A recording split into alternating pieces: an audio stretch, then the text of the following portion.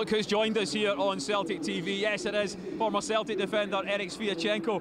Delighted to have you here, Erik. Thank you so much. Have you missed this Glasgow weather?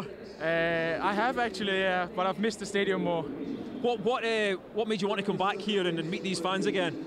I think the the way that I left was uh, so abrupt in some way. So I came home from training camp and, and I, I had to leave for for Midtjylland loan and I didn't have the possibility to say goodbye to the fans, but also the, the players and the staff. So it's nice to be back with the family. So you're going to be on the pitch and you'll say a few words to the fans today, is that right? If I have the opportunity, I would like to thank them, yeah. Um, we've just been watching there some of the great goals from that game against against Dundee. There's been some great performances this season. Have you managed to keep up with, with what the boys have been doing? Uh, I have for sure. Uh, I have my Celtic TV subscription, so good uh, man. I like that. I follow uh, I follow the team uh, quite closely, and it's it's nice to see that they're doing well and and we talked about uh, Ryan Christie before. It's nice to see him doing so well. One of my uh, good friends. So uh, for sure, it's it's good to see the team performing well in a game like Dundee, 5-0. It was it was some good goals. He's a player who just needed to get that chance, didn't he? He's, he's, always had it in his locker, is the, the kind of phrase that we use. But once he got that chance, he's really taken it, taken it by both hands or both feet, isn't he? For sure. Like I, have been uh, with him for close time when he was at Celtic. Then he came on loan for Aberdeen for was it two seasons, and came back and uh, he just needed that chance. And uh, oh boy, he has taken it. What is it about this club, Erik, that you, you're maybe in a better place than most people to answer this?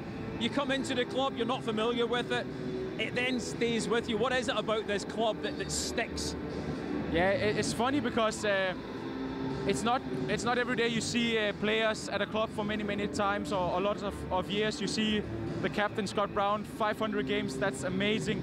But I think it's that feeling of of uh, the club buying 100% into the players. They want them to perform as much as they can, and when the players want the same, then there, there comes this uh, connection in some way, and, and it's difficult to describe, but it's easier when you go away and then you acknowledge what you actually have been in and that you miss it a lot.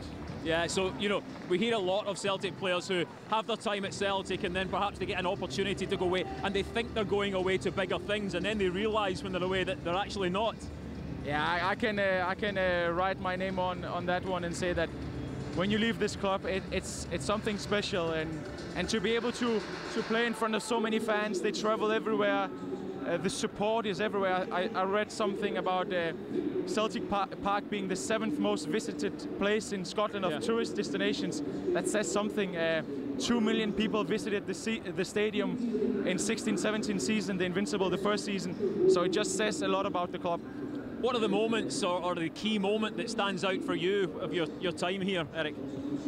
Oh, there's been a lot. Uh, I think the, the contribution in, in general to have just made my mark in some way. I've played 60 odd games uh, in little uh, over two years, uh, under two years has been amazing. My goals, my goals has been good against Ross County here.